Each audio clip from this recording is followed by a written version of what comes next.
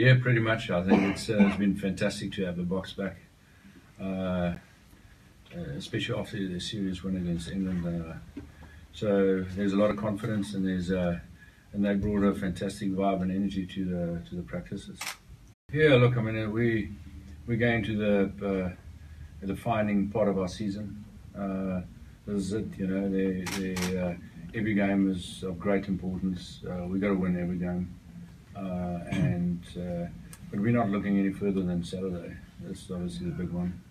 I mean, we've uh, we've we, we know we we've uh, through the season there, there's been a there's been a, a lack of consistency. Uh, we played some great games, and, and then some games were were, were mediocre. Uh, but that's all in the past now. You know, this is it. We these are this is finals rugby for us.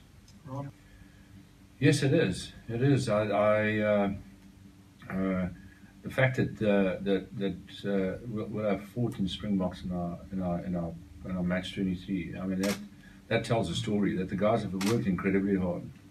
Uh, we played some great rugby, um, and um, and this is it. You know, it, it, it's coming down to this this weekend and this weekend only.